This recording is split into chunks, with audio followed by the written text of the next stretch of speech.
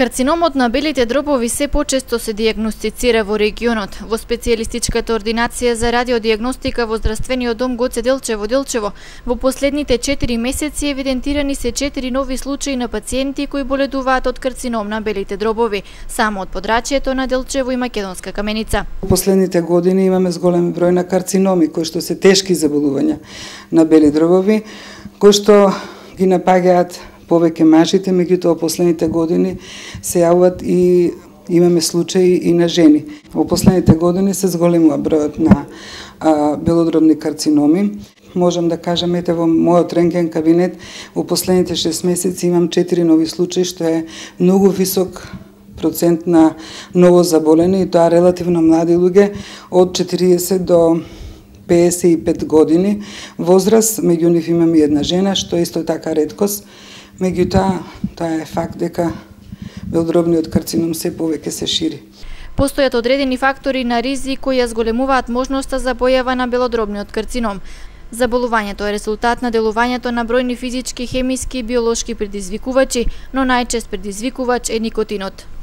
Пушењето е главен фактор на ризик за настанување на белодробниот карцином. Околу 90% од белодробните карциноми кај мажите и околу 83% кај жените се оценети дека се предизвикани од тутуновиот дим. Пушачите на цигари заболуваат од 25 до 30 пати почесто во споредба со непушачите, велат лекарите. Веројатно влијае начинот на живот, пушењето, алкохол и така натаму загаденоста на воздухот, радиоактивноста.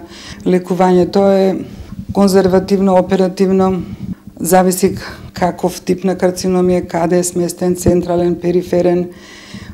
Лекувањето е тешко, бавно, доста успешно е. Во последните 20 години имаме доста висок процент на излекувани пациенти од белодробен карцином. Општо во целиот источен регион бројот на пациенти кои заболуваат од карцином на белите дробови се зголемува.